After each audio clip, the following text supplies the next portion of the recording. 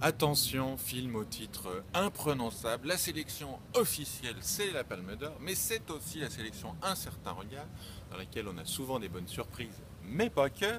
Cette fois-ci, c'est The Disappearance of Eleanor Rigby, Them. Comprenez bien, eux. Un premier film avec le couple glamour de Cannes. J'ai nommé Jessica Chastain et James McAvoy. Rien que pour eux, on en mangerait. C'est pas une histoire si drôle que ça, c'est une histoire d'amour, mais une histoire de deuil de bébé avec deux personnes qui se cherchent longtemps, d'où nos trois adjectifs.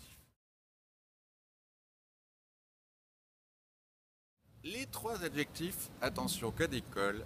1. Sorry. 2. Sorry. 3. Sorry so.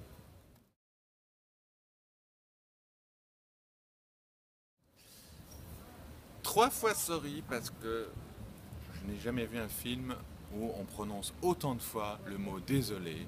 Même Isabelle Huppert, himself, en jouant la mère de Jessica Chastain, prononce à son tour le terme de sorry. En fait, ce sont des personnages qui passent leur temps à s'excuser de ce qu'ils ne font pas, ou de ce qu'ils n'osent pas pouvoir faire, ou de ce qu'ils pourraient faire mais qu'ils n'ont pas osé faire dans le passé, ou que bientôt ils oseront faire mais ils n'osent pas le faire tout de suite, etc.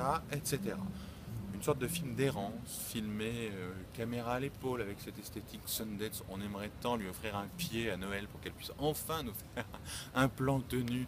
Mais non, il faut que tout ça soit très très flottant. Alors on aime flotter dans les bras de Jessica Chastain et James McAvoy, surtout quand ils font l'amour deux fois en voiture.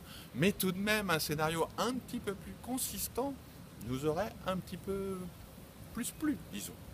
Il faut savoir que le film a été présenté en Sundance en deux parties avec une version pour elle, une version pour lui sur trois heures. Ici, on a une version de deux heures déjà largement assez longue qui s'appelle donc Them, en plus de The Disappearance of Eleanor Rigby.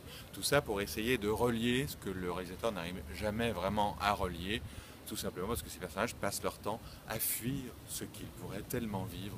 Mais je vous rassure peut-être qu'à la fin du dernier plan très très long, on peut imaginer qu'en se suivant à nouveau, mais dans l'autre sens, ils vont peut-être finir un jour par se rencontrer dans un autre film. Enfin bon, voilà, tout ça n'est pas tout à fait désagréable, mais tout ça est un tout petit peu éthéré quand même.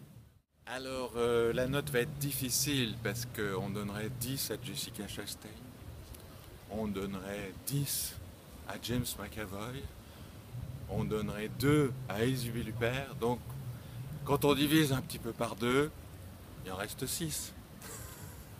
Mais juste pour l'amour.